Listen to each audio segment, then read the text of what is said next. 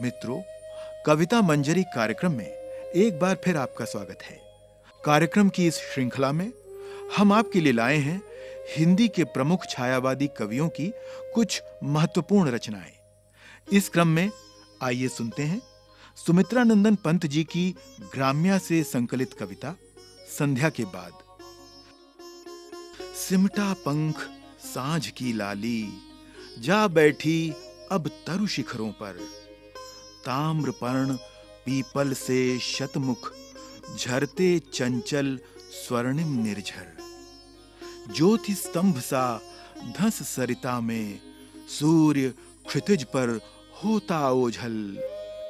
बृहद जिह्म विश्लथ केचुल सा लगता चितकबरा गंगा जल धूप छाह के रंग की रेती अनिल ऊर्मियों से सर्पांकित, नील लहरियों में लोड़ित, पीला जल रजत जलद से बिंबित।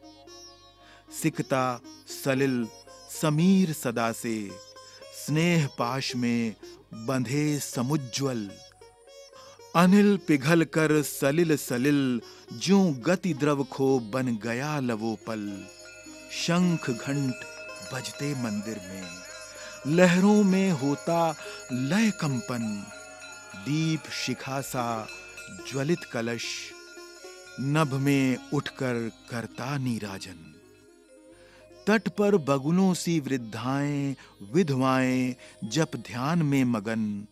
मंथर धारा में बहता, जिनका अदृश्य गति अंतर रोदन दूर तमस रेखाओं सी उड़ती पंखों की गति सी चित्रित। सोन खगों की पाति आर्द्र ध्वनि से नीरव नभ करती मुखरित। स्वर्ण चूर्ण सी उड़ती गोरज, किरणों की बादल सी जलकर। सनन तीर सा जाता नभ में ज्योतित पंखों कंठों का स्वर। लौटे खग, गायें घर लौटी। लौटे कृषक, श्रांत श्लथ डगधर। छिपे गृहों में म्लान चराचर, छाया भी हो गई अगोचर।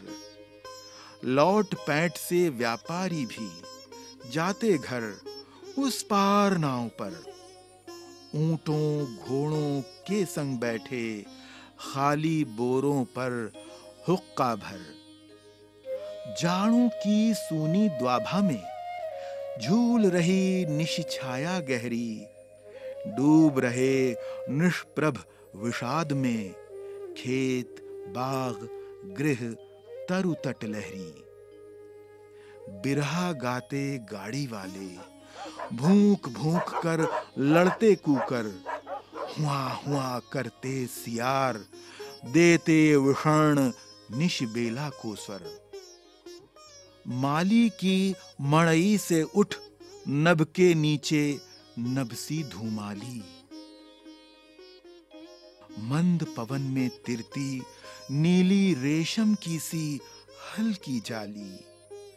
बत्ती जला दुकानों में, बैठे सब कस्बे के व्यापारी।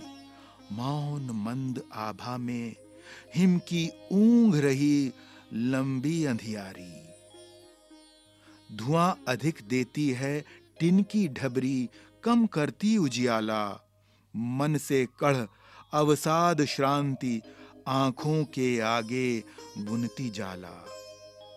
छोटी सी बस्ती के भीतर लेन देन के थोथे सपने, दीपक के मंडल में मिलकर मंडराते घिर सुख दुख अपने। कंप कंप उठते लौके संग। कातर उर क्रंदन मूक निराशा। क्षीण ज्योति ने चुपके ज्यू, गोपन मन को दे दी हो भाषा। लीन हो गई क्षण में बस्ती, मिट्टी खपरे के घर आँगन। भूल गए लाला अपनी सुधी, भूल गया सब ब्याज मूलधन। सकुची सी परचून किराने की ढेरी लग रही ही तुच्छतर इस नीरव प्रदोष में आकुल उमड़ रहा अंतर जग बाहर। अनुभव करता लाला का मन, छोटी हस्ती का सस्तापन। जाग उठा उसमें मानव और असफल जीवन का उत्पीड़न। दैन्य दुख अपमान ग्लानि, चिर क्षुधित पिपासा, मृत अभिलाषा। बिना आय की क्लांति बन रही, उसके जीवन की परिभाषा।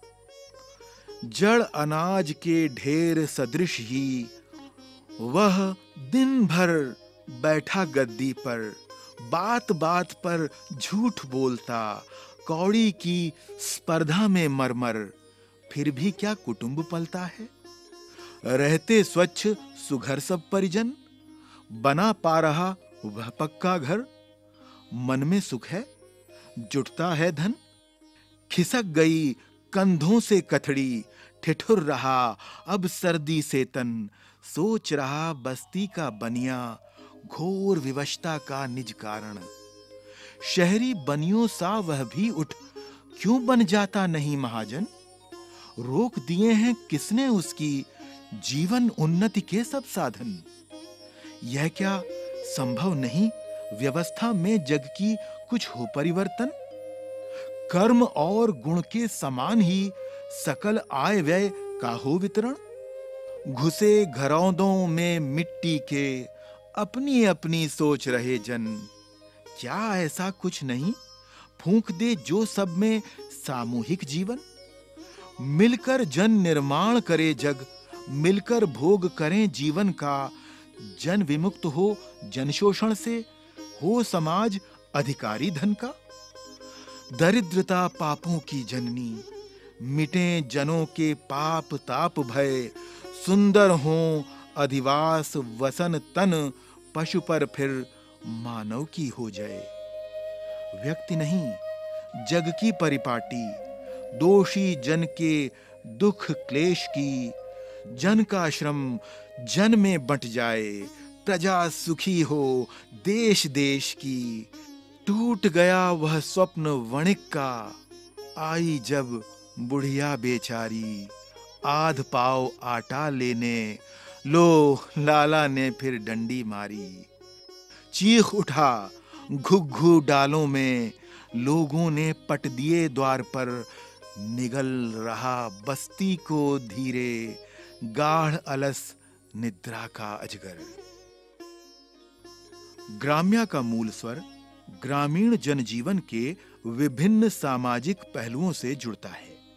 इस कविता में ढलती हुई साँझ के समय गाँव के वातावरण, जनजीवन और प्रकृति का सुंदर चित्रण हुआ है। संध्या का समय जब सूर्य पश्चिम में छिपता है और चारों ओर अंधियारा फैलने लगता है। ये एक ऐसा समय है जब संसार के लगभग सभी प्राणी अपने अपने घर लौटना चाहते हैं। ऐसे दृश्य खास तौर पर ग्रामीण अंचल में अवश्य दिखाई देते हैं, जिसमें किसान, मजदूर पशु पक्षी आदि अंधेरा होने पर अपने घरों की ओर जाने लगते हैं। सुबह होती है, शाम होती है, यूँ ही हर दिन की एक नई शुरुआत होती है। शाम या संध्या के बाद का कोई एक ऐसा दिन जो आपको सबसे अच्छा लगा हो, उसको नई कविता का रूप दीजिए।